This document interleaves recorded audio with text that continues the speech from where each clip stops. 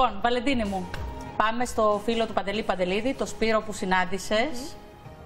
Θέλω να δούμε πρώτα το βίντεο και δεν τα βάλαμε όλα μέσα. Θα μας πεις και εσύ άλλα πράγματα που σου είπε ο Σπύρος. Να δούμε πρώτα και αμέσως μετά να το σχολιάσουμε, παρακαλώ. Παρακαλώ. Μένω εδώ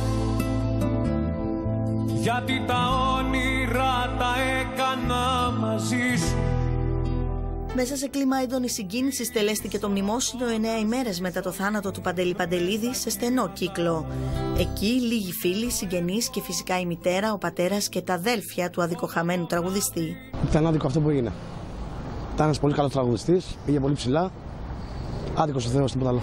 Πίστεψε κι αυτό, σε παρακαλώ Ποτέ δεν σκεφτόμαι τα βράδια μας Ποτέ τις νύχτες δεν μεθάω Ο φίλος του Παντελή Παντελίδη Σπύρος μίλησε στη Βαλεντίνη Ράντι για το χαμό του τραγουδιστή.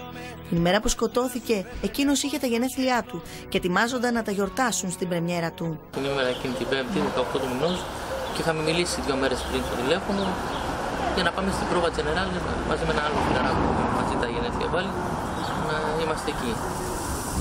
Τελικά μας έκανε άσχημο δώρο. Βασικά δεν έχουμε πιστέψει αυτό που έχει γίνει. Δεν το έχουμε πιστέψει. Ε. Και είμαστε δίπλα. Και θα είμαστε δίπλα. Δεν σημαίνει ότι επειδή σε έφυγε ο Παντελής ξεχνάμε κάποιους. Τι ήταν με τους φίλους του. Απλώς.